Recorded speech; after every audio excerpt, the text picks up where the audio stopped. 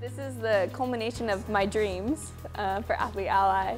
This is an Athlete Ally Student uh, Athlete um, Activism Summit, uh, basically giving us the tools and the power to connect to one another, to um, activate change on our local campuses and beyond.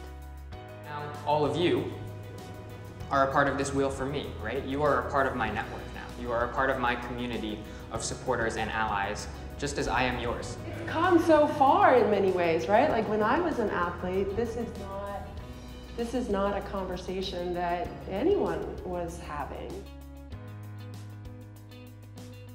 Really any topic, no topics are off limits. It's really great to have this open discussion with everyone. But I want to take tools from this and bring it back to them and show them what we could possibly do.